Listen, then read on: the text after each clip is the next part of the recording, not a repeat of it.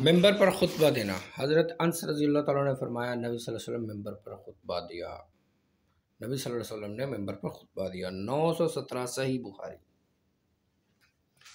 हज़रत अबू हाजिम बिन दिनार से रवायत है कि कुछ लोग हज़रत सहल बिन साद, सादी रज़ी अल्लाह तु के पास आए, जिन्हें रसूलुल्लाह वसल्लम के मेंबर के मतलब शक था कि वो किस लकड़ी से तैयार हुआ था। उन्होंने इसकी बाबत हज़रत सहल बिन साहल रज़ी अल्लाह दरियाफ़त किया।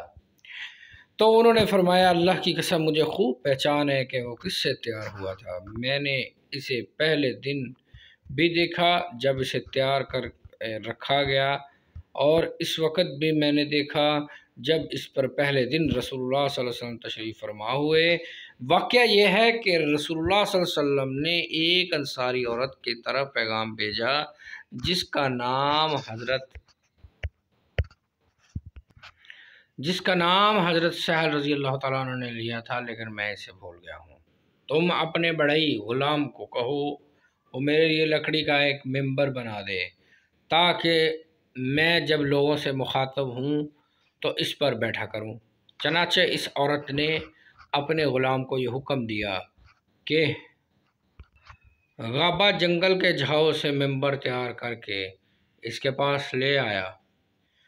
ये हुक्म दिया था वो गाबा जंगल के झाओ से मेंबर तैयार करके ले आया, इसके पास ले आया। इसने वो रसोल्ला वसल्लम की खिदमत में भेज दिया। आपने हुक्म दिया कि इसे इस जगह पर रख दिया जाए। मैंने देखा कि रसूलुल्लाह वसल्लम इस पर नमाज़ पढ़ना शुरू की। तकबीर, तहरीमा, इस पर कही फिर आपने रकू भी इसी पर किया। फिर उल्टे पाँव नीचे उतर आए और मिंबर की जड़ में सजदा किया। फिर वापस मेंबर पर गए। जब आप नमाज़ से फारग हुए तो लोगों की तरफ़ मुतवजा होकर फरमाया, लोगों, मैंने ये सब कुछ इसलिए किया ताकि तुम मेरी इब्तदा करो और मेरी नमाज़ सीख लो। Nine one seven.